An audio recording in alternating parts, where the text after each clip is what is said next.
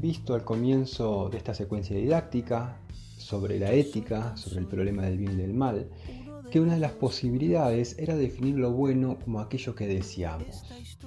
Para profundizar en esta postura, vamos a ver un poquito la postura de Spinoza, un filósofo judío que vivió en el siglo XVII, muy conocido por su enfrentamiento con el judaísmo precisamente, por la concepción que tenía Spinoza, una concepción muy particular de Dios, esto lo llevó a enfrentarse con su comunidad y a ser excomulgado por la misma, razón por la cual eh, Spinoza es conocido como el judío errante.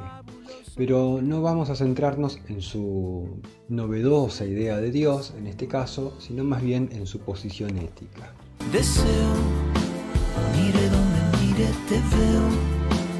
Mire donde mire te veo, mire donde mire te veo. Spinoza va a definir lo bueno como lo deseable. Dice Spinoza algo muy interesante. Dice, nosotros les leo la cita, nosotros no intentamos, queremos, apetecemos ni deseamos algo porque lo juzguemos bueno, sino al contrario, juzgamos que algo es bueno porque lo intentamos, queremos, apetecemos y deseamos. Es decir, nosotros no deseamos una cosa porque esa cosa sea buena, es al revés. Nosotros decimos que eso es bueno porque ya previamente lo deseamos. Deseo, mire donde mire te veo, mire donde mire te veo, mire donde mire te veo. Interesante que pensemos cuántas veces en nuestros discursos disfrazamos nuestros deseos bajo un ropaje moral. ¿Cuántas veces nos dicen o decimos, esto es bueno, esto es lo mejor, esto es lo que conviene? cuando en realidad es lo que deseamos. Esta posición trae, bueno, muchas, muchas críticas, ¿no? Porque no todo lo que deseamos siempre es bueno, eso lo sabemos, ¿no? Yo puedo desear, qué sé yo, tomar vino, pero si tomo mucho vino, eso a la larga me va a hacer mal, entonces no va a resultar bueno.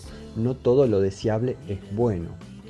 Una crítica aplicable tanto a esta definición de Spinoza, lo bueno como lo deseable, tanto como para un poco la posición de Aristóteles, lo bueno como lo que me hace es que sabemos que lo que nos, hace felices a nosotros posiblemente no haga felices a los otros, ¿no? Sabemos que lo que me es deseable a mí no es deseable para los otros muchas veces. Entonces, sería un poco polémico definir lo bueno como lo que me hace feliz. ¿Qué pasa si a mí me hace feliz, por ejemplo, salir a, la calle a golpear gente porque no me gusta el color de su piel? Bueno, evidentemente este acto no es bueno, ¿no es cierto? Y sin embargo a mí me hace feliz. Entonces hay que intentar definir lo bueno por otros medios ¿no? más comunitarios. ¿no? Hay que salir de la individualidad. ¿no? Podemos decir que algo es bueno para mí, pero los conceptos de, bien y de mal tienen que ver sobre todo con cómo nos relacionamos con nosotros, ¿no? con cómo afectamos a los otros. Hay que tener en cuenta que cada una de nuestras acciones tiene un efecto sobre los demás. Y es ahí en donde vamos a juzgar nuestros actos, sobre cómo repercuten en los demás. Para contarte canto, quiero que sepas cuánto me haces bien, me haces bien, me haces bien. Te quiero de mil modos quiero sobre todo. Me haces bien, me haces bien, me haces bien. Por otro lado, Spinoza nos propone que el bien y el mal no son propiedades de una cosa, sino que tienen que ver con cómo nos afecta a nosotros. ¿no? Les leo la, cita de Spinoza. Dice, por lo que atañe al bien y al mal, tampoco aluden a nada positivo en las cosas, consideradas estas en sí mismas, ni son otra cosa que modos de pensar, o sea, nociones que formamos a partir de la comparación de las cosas entre sí. Pues una sola y misma cosa puede ser al mismo tiempo buena y mala, y también indiferente. Por ejemplo, la música es buena para el que es propenso a una suave tristeza o melancolía y es mala para el que está profundamente alterado por la emoción. En cambio, para un sordo no es ni buena ni mala. Bueno, así podemos encontrar muchísimos ejemplos de cosas que son al mismo tiempo buenas y malas. Por ejemplo, un remedio. Remedio no es bueno en sí mismo. Puede ser bueno para aquella persona que está enferma. Si lo toma una persona que está sana, le puede hacer mal. Entonces, una cosa puede ser buena y mala al mismo tiempo. ¿Qué es lo que define lo bueno y, lo malo, según Spinoza? Lo que define lo bueno y lo malo es cómo nos afecta. Y ahí hay básicamente dos opciones. Nos puede alegrar o nos puede entristecer. Hay una multiplicidad de afectos que nos pueden provocar. Por ejemplo, temor. Bueno, pero el temor es al fin y al cabo una tristeza. Nos pueden provocar eh, esperanza. Y la esperanza está ligada a la alegría.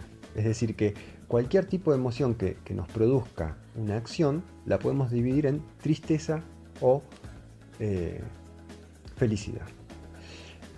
Y lo que nos alegra, lo que nos hace felices, nos potencia, dice Spinoza. Esto es muy interesante.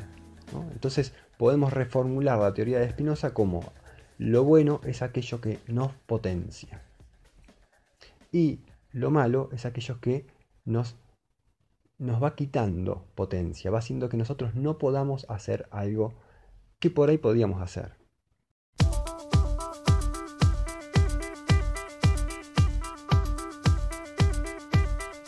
Muy interesante la, la teoría de los encuentros potentes de Spinoza. Nosotros somos un conjunto de relaciones, ¿Qué pasa si a nuestro yo, a lo que nosotros somos, empezamos a quitarle las relaciones? Por ejemplo, yo soy profesor de filosofía, soy la pareja de, soy el hijo de, el hermano de, ¿no? soy el hincha de X equipo de fútbol. Ahora, si yo empiezo a sacar todas esas relaciones que tengo con otras personas, con un equipo de fútbol, con una profesión, empiezo a quitar las relaciones, ¿qué queda de mi yo? ¿qué queda de mí? Queda un yo vacío. Nosotros somos nuestras relaciones. Ahora, esas relaciones que tenemos nos potencian o disminuyen nuestra potencia.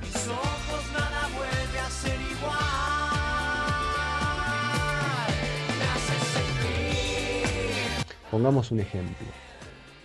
Yo soy una persona muy tímida, eh, me gusta bailar, pero me da vergüenza. Ahora, viene un amigo, me incentiva, me dice que lo acompañe a, bailar, yo no quiero, me dice, bueno, yo te enseño, siempre me da aliento, me dice, dale, lo haces bien, nadie te mira. La cuestión es que, bueno, a la larga, gracias a él, yo terminé bailando toda la noche, perdí el miedo, perdí la vergüenza, listo. Pude hacer algo que yo pensaba que no podía hacer.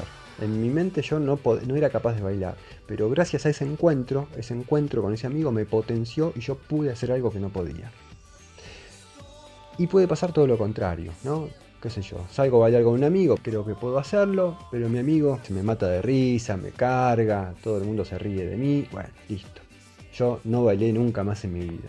Ese encuentro me quitó, me disminuyó la potencia, me entristeció.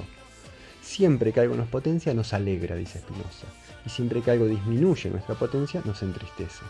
Cuando a nosotros algo nos alegra, nos potencia, también somos capaces de potenciar a otros. Una persona triste no puede potenciar a nadie. Por eso, Spinoza, eh, su filosofía está un poco orientada a que nosotros recapacitemos un poco sobre nuestras relaciones, sobre cómo nos, relacionamos con los otros, sobre cómo los otros nos afectan y también sobre cómo nosotros somos capaces de afectar a los otros para contarte canto. Quiero que sepas cuánto me haces bien, me haces bien, me haces bien. Te quiero de